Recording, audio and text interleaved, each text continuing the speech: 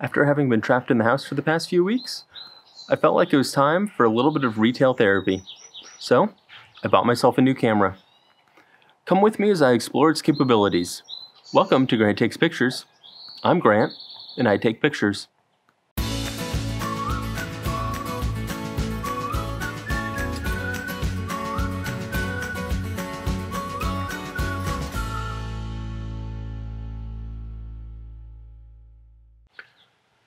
So the new camera that I got is this Lego ImageMaster Mark One.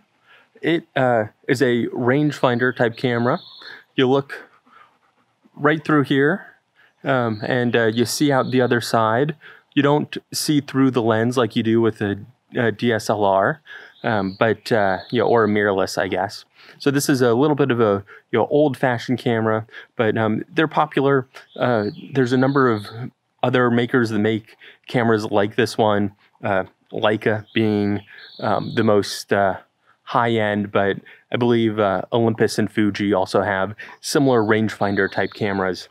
Um, however, uh, unlike most other rangefinders, this uh, does have a removable lens. I only got the kit lens with it, but um, you know, hopefully I can pick up some other lenses uh, in the not too distant future for it. So I'll just put that right back on there. It has a built-in flash, uh, on-body flash here off to the side. Other than that, it doesn't have too many other features. Uh, you just point and click for the most part. But let's see what sort of pictures it can take. So the first picture we're going to try to get with my new uh, Lego ImageMaster Mark 1 is a uh, picture of my dog. It's right here, chewing on a ball. So just line them up here. Make sure we're nicely in focus.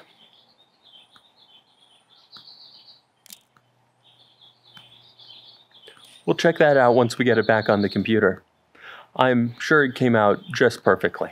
So uh, right over here in my backyard, we have some flowers. So um, I'm gonna see how this does with uh, a little bit of macro type photography. Get up close uh, and zoomed in and just uh, see, see how well it does.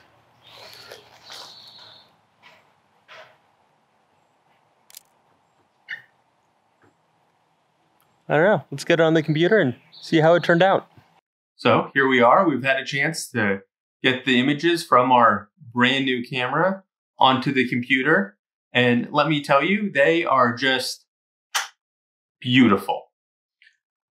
I've edited them just slightly.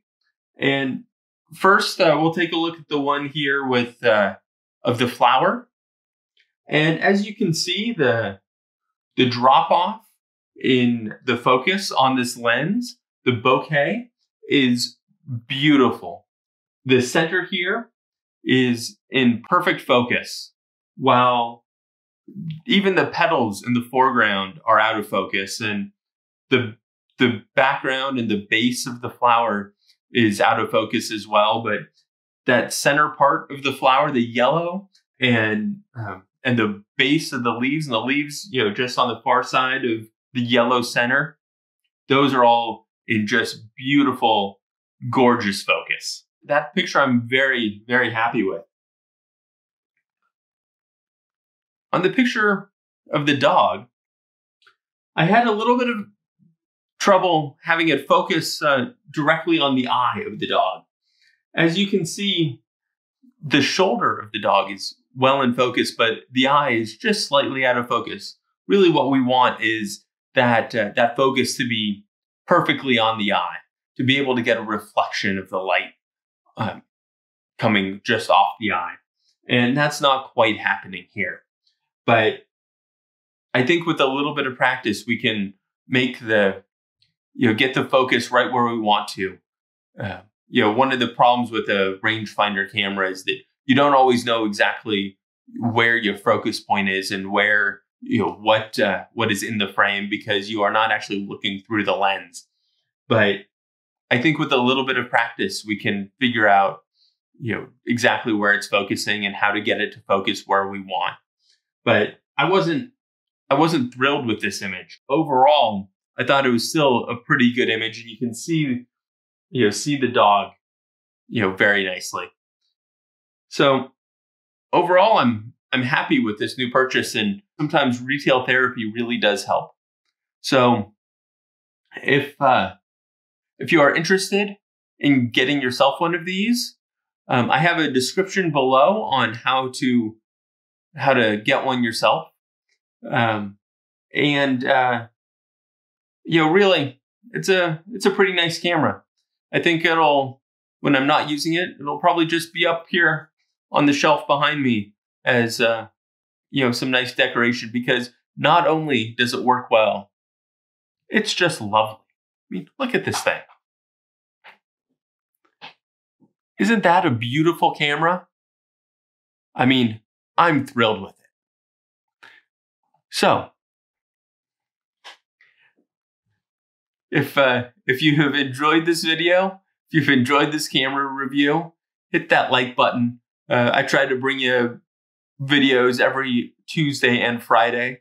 So uh, if you like what I'm doing, hit that subscribe button, and uh, hopefully you will enjoy my future videos as well. But until next time, have a great day.